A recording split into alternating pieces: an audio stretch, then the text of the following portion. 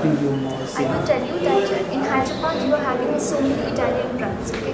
But in UP, as sir told that we are having a vast range, 130 kitchens in our hand and we have the wardrobes also, living room concepts also. Right. Okay, and we have got this thing that the customer who's come driving down to Lube office by Maruti 800, we can satisfy them, and the customer who's coming by the private jet, we can satisfy them. Okay, the kitchens that you could see here, everything could be custom made according to the measurement of the kitchen or the way they want it. Okay, so we can do the stuff and we can actually take the price range up to anything, and down also.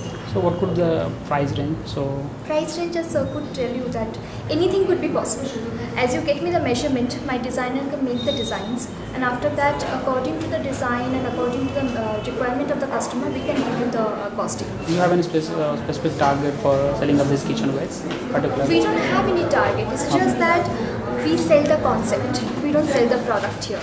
Okay. Okay. So everything, the kitchens that you will see, each kitchen is one one concept here. Okay. You can actually uh, swipe also if you want to take some volume meter and you want to take something else in a uh, drop uh, below unit, you can do that. So when customer contact, when uh, when can customer can contact you, I mean, with you?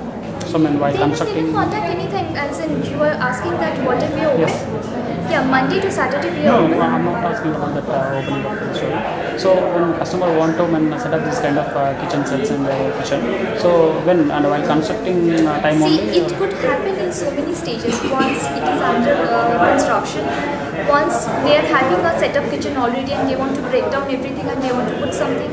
And sometimes it happens that they have the kitchen and they want to parallelly keep the modular kitchen. In that case also they can. so how the trend is going in. Hyderabad? These kind of modular kitchens. So how the Hyderabad uh, people trend is going? I mean, change getting getting to change. We actually have got a lot of responses till now, and we have sold two, two, three kitchens already in Hyderabad before the Lube came into Hyderabad. So people are accepting.